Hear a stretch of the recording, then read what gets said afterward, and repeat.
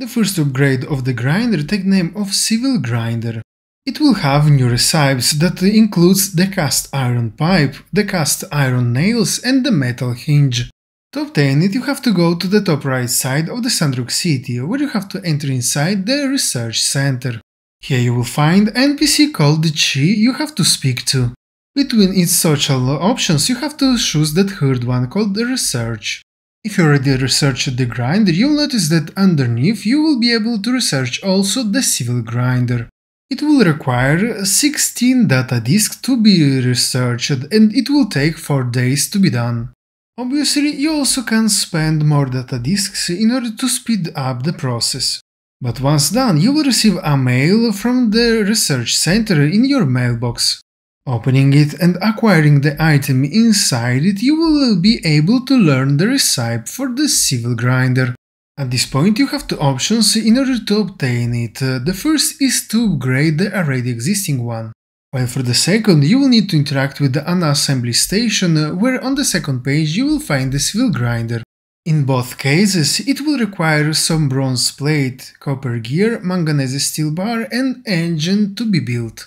The main difference is that if you will decide to build it, you will consume more ingredients.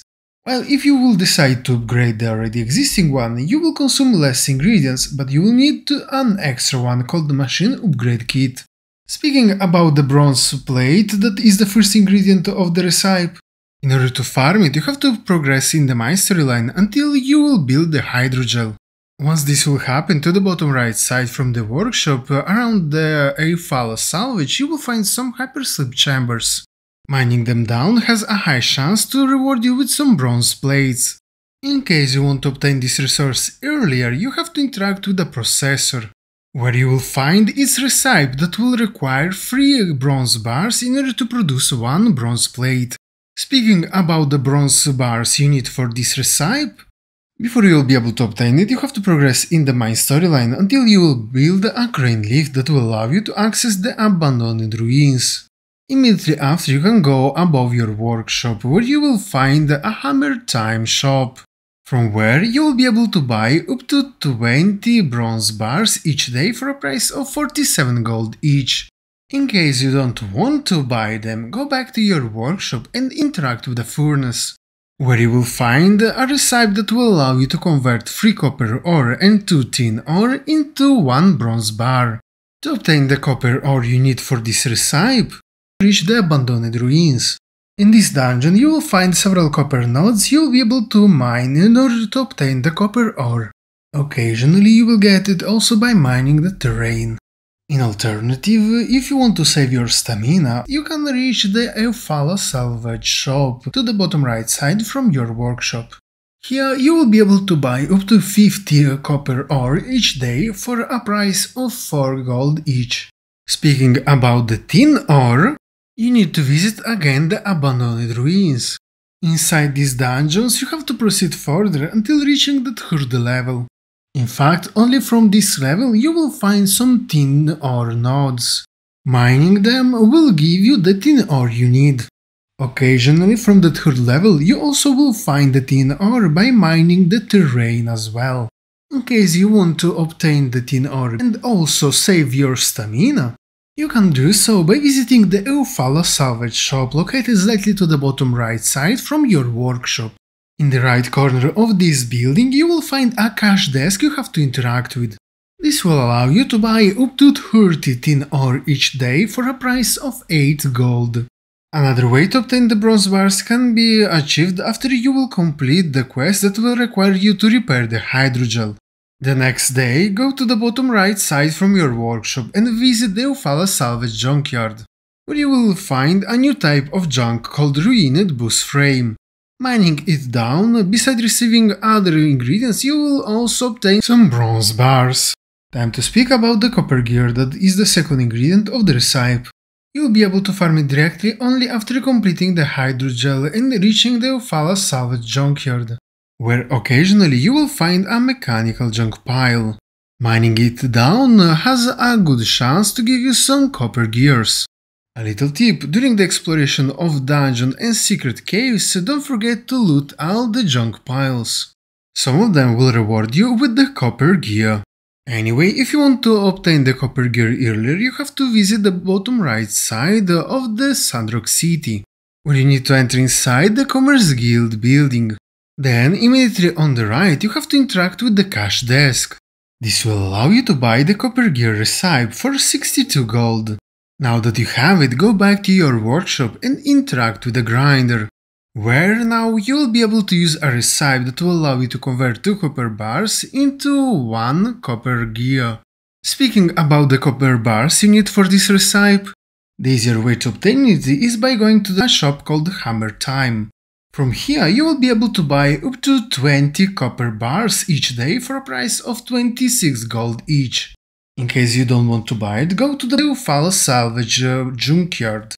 Initially here you will find some mixed junk piles. Mining those will reward you with some copper scraps. That next, by placing them inside the recycler, you have a high chance to find some copper bars. Progressing in the storyline, inside the junkyard will appear also some metal junk piles. That besides some copper scraps will also drop directly the copper bars as well.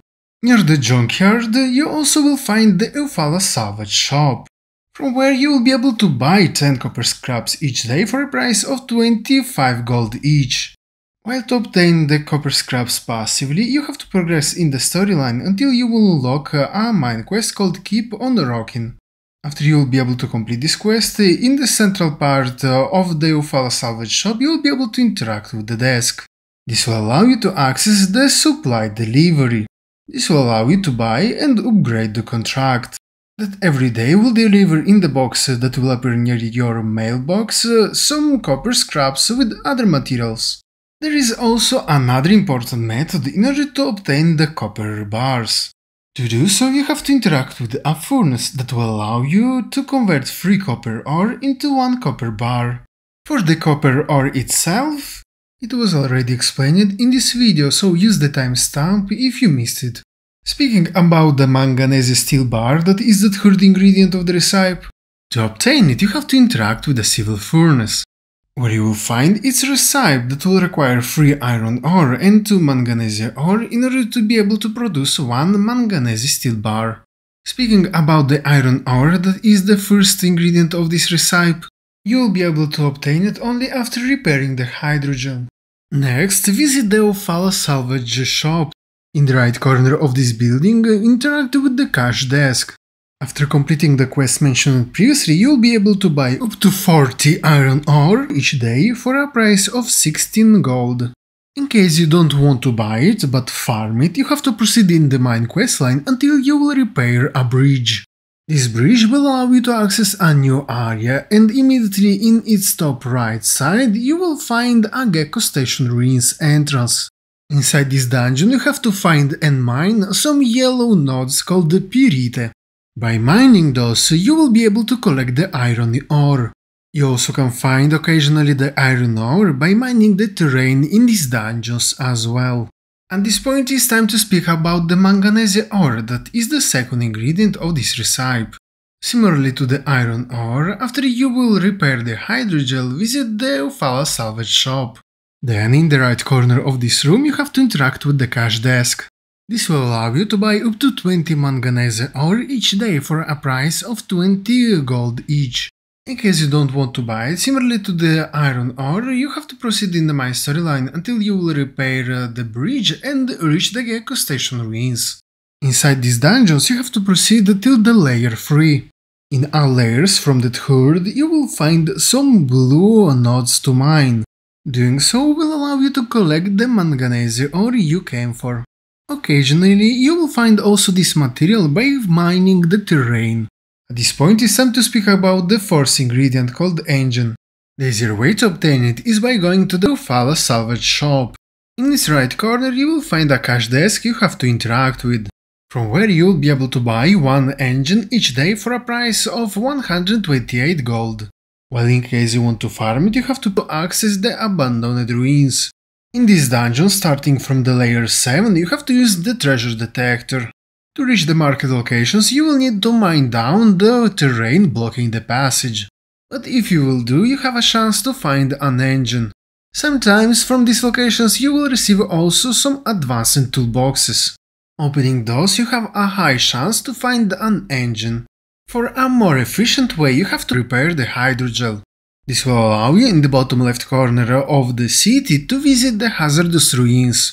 To enter inside you always have to pay 120 stamina. But in exchange, at the end of each level, you will always be able to loot a chest that has an engine inside. Locking the hazardous ruins uh, below them, you also unlock the civil corps as well. In the left corner of this building, you will be able to access a notice board, where you will be able to spend some gold in order to send other NPCs to visit the hazardous ruins at your place. Using the upper slider, you also will be able to increase the amount of runs uh, the NPC have to do. For each run you will commission, you will be able to obtain uh, one engine, all the way till 5. Plus you will be able to issue up to 3 commissions at the same time. This means that you will be able to obtain up to 15 engines this way between 1 and 5 days. There is also an extra method that you can do while exploring secret caves and the quest dungeons. During these activities, don't forget to loot the junk piles and all the white treasure chests. This is because sometimes they will reward you with some engines as well. In case you decided to upgrade the grinder instead of building it, you will need to learn also about the machine upgrade kit. For the first kit, I suggest you to reach the central upper area of the city where you will find the temple. From its back door, uh, look to the right and you will notice under the huge red rock a chest. To bring it down, you have to pop the balloon above the chest using a throwing rock. You can find one of these rocks uh, behind the base of the red stone. Anyway, speaking about the chest, once it will fall down, reach its location and open it, and you will obtain the first machine upgrade kit. For the next method, before you'll be able to farm it, you have to craft any type of weapon like a stone sword. Then around your workshop search for some yakmels and roosters. There are two type of yakmels, the normal and the alpha. The last one has a chance to drop the machine upgrade kit. For the rooster, you have to search the one called the Cock-a-Doodle-Doom, that is the one that drops the machine upgrade kit. If you want to obtain these kits without using the stamina, reach uh, the shop called the Hammer Time. Here you will be able to buy up to 5 machine upgrade kits each day for a price of 128 gold each.